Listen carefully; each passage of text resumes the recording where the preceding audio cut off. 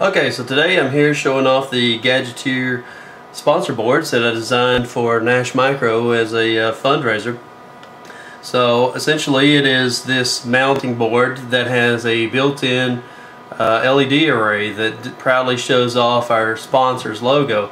And so we were able to sell these sponsorships as a way to buy these uh, FEZ Cerberus Tinker kits for the group.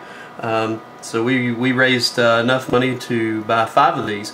And so the uh, FEZ Cerberus Tinker Kit is made by GHI Electronics and it is a uh, Cerberus mainboard, a uh, display N18 module, LED strip module, a couple different button modules, a uh, tunes module which is a buzzer, uh, light sense which is a light sensor, uh, flash memory card, joystick, and then of course there's the built-in module.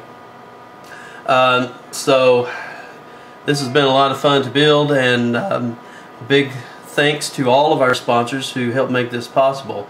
Uh, not only Mercury Intermedia but Second Look Studios, Skydog Con, Synergy Systems, and Vaco.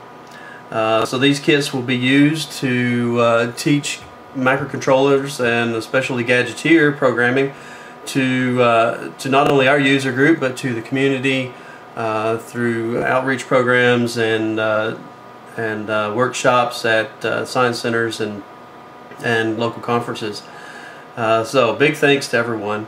Um, so let's see, what can we do with this thing? I've got a little disc demo here that I'm borrowing from GHI Electronics that they built. so essentially we've got a Pong game and I've customized a little bit to integrate in our uh,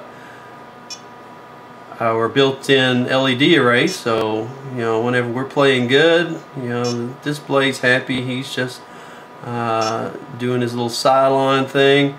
Uh, but if we miss boy he gets mad and he gets all flashy on us.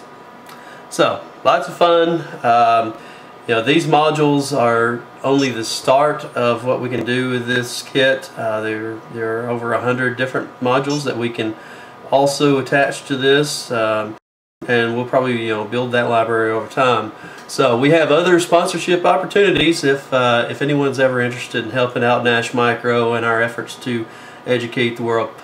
Uh, so look us up on at uh, nashmicro.net. Thanks for watching.